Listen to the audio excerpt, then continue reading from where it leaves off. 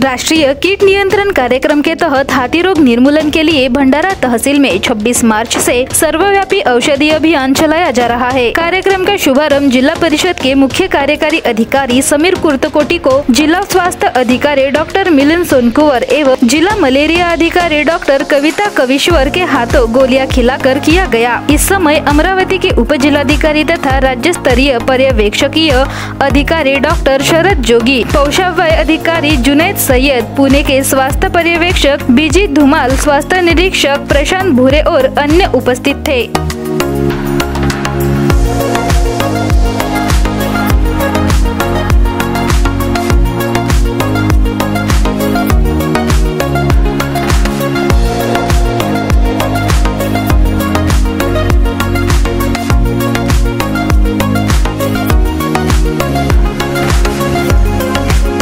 भंडारा गोंदिया जिला वासियों के लिए खुश खबर है।